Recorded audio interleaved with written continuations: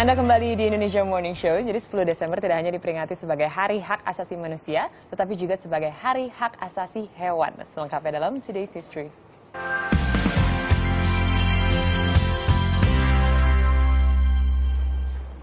10 Desember juga diperingati sebagai Hari Hak Asasi Binatang setelah PBB meresmikan Deklarasi Hak Asasi Binatang pada 15 Oktober 1978.